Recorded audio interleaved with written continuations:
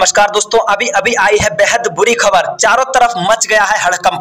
लालू यादव जी को लेकर के बहुत ही बड़ी खबर सामने निकल कर आ रही है। मैं आपको बता दूँ कि बिहार के पूर्व सीएम लालू प्रसाद यादव जी को तो आप लोग जानते ही होंगे। काफ़ी समय से चल रहे बीमार। लालू प्रसाद जी का स्वास्थ्य आखिरकार इस समय कैसा है? दिल्ली के एम्स हॉस्पिटल में इनका इलाज चल रहा था। डॉक्टर द्वारा जब पूरी बॉडी की जाँच की गई तो पता लगा कि लालू जी की किडनी है, वो पचहत्तर से लेकर अस्सी फ़ीसदी तक डैमेज हो चुकी है। उसकी वजह से लालू प्रसाद जी का स्वास्थ्य दिन पर दिन बिगड़ता हुआ जा रहा है। लालू प्रसाद जी ने बड़े बड़े डॉक्टरों से राय ली और सिंगापुर चले गए अपनी किडनियों का इलाज कराने के लिए। सिंगापुर में लालू जी की किडनियों का कुछ दिन इलाज चला। फिर डॉक्टरों द्वारा वहाँ से बताया गया कि लालू जी की सेहत में अब सुधार हो रहा है और वो बहुत ही जल्द स्वस्थ हो जाएँगे। सिंगापुर में लालू जी का कुछ दिन इलाज चला। फिर लालू जी सिंगापुर से वापस दिल्ली आ गए।